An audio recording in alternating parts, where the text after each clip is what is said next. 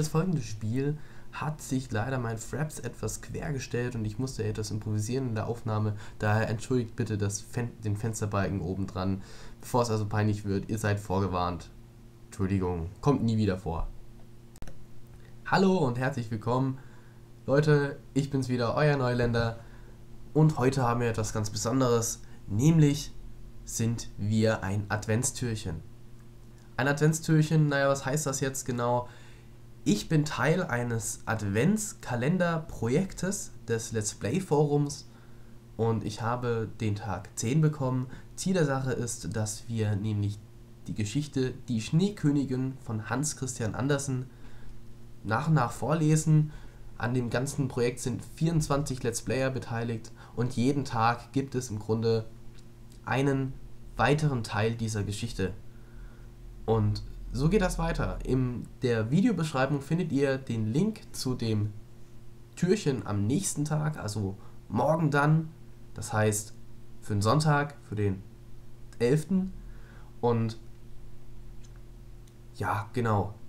Äh, äh wir, ich würde einfach mal sagen, wir fangen jetzt an. Und lehnt euch zurück, nehmt euch eine Tasse Kinderpunsch oder so in die Hand, vielleicht noch einen Keks dazu und genießt meinen Ausschnitt. Viel Spaß! Und die Krähe nickte ganz bedächtig und sagte, es könnte sein, es könnte sein. Wie, glaubst du? rief das kleine Mädchen und küsste die Krähe so ungestüm, dass sie dieselbe fast totgedrückt hätte. Vernünftig, vernünftig, entgegnete die Krähe. Ich denke, es wird der kleine Kai sein. Aber jetzt hat er dich wohl schon vergessen. Doch es macht mir Mühe, deine Sprache zu reden. Allein, wenn du die Krähensprache verstehst, dann kann ich besser erzählen. Nein, die habe ich nicht gelernt, sagte Gerda. Doch die Großmutter konnte sie recht geläufig. Hätte ich sie nur gelernt. Tut nichts, tut nichts, sagte die Krähe. Ich werde erzählen, so gut ich kann. Und dann erzählte sie, was sie wusste. In dem Königreiche, in welchem wir hier sitzen, wohnt eine ungeheuer kluge Prinzessin. Eines Tages fiel es dieser ein, sich zu vermählen. Sie wollte jedoch einen Mann haben, der zu antworten verstand, wenn man ihn anredete, einen, der nicht nur dastand und vornehm aussah, denn, naja, das ist höchst langweilig. Nun ließ sie alle Hofdamen zusammentrommeln, und als diese ihre Willensmeinung vernahmen, wurden sie sehr froh. So hab ich's mir gern, rief eine jede.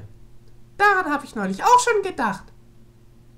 Die Zeitung erschien sofort mit einem Rande von Herzen und den Namenszügen der Prinzessin.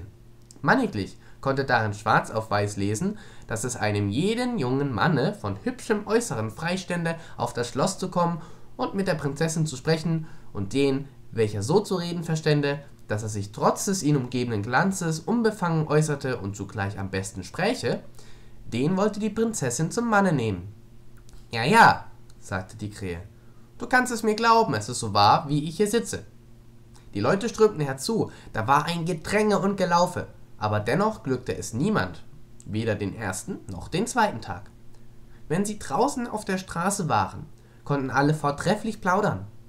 Sobald sie aber zum Schlossportale hereintraten und die silberstrotzenden Leibwächter und die Treppen hinauf die Diener in Gold und die großen erleuchteten Säle erblickten, dann wurden sie verwirrt. Standen sie nun vor dem Throne, auf welchem die Prinzessin saß, so vermochten sie nur ihr letztes Wort nachzusprechen, und diese Wiederholung flößte ihr kein Interesse ein. In ganzen Reihen standen sie vom Stadttore bis zum Schlosse. Ich war selbst drin, um es mit anzusehen, versicherte die Krähe. So, das war's leider auch schon wieder von mir meinerseits. Ich hoffe, es hat euch gefallen. Und ich wünsche euch viel, viel Spaß mit den nächsten Adventstürchen. Danke, dass ihr eingeschaltet habt. Wer jetzt noch was zum Spiel hören will, der bleibt noch ganz kurz einfach anwesend.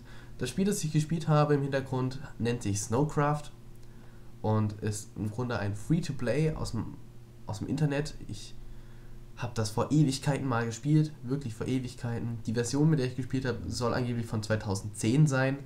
Ich kann mir aber gut vorstellen, dass das Spiel deutlich, deutlich älter ist. Ne? Der Hersteller ist Nicholson New York, also Nicholson NY. Und ich kann es euch jedem empfehlen. Es ist ein schönes Spiel für mittendrin mal, wenn man auf nichts Anspruchsvolles Bock hat. ansonsten, ich wünsche euch eine schöne Weihnachtszeit. Man hört sich vermutlich gegen den 24. auf jeden Fall nochmal wieder im Zuge dieses Formates hier. Bis dann.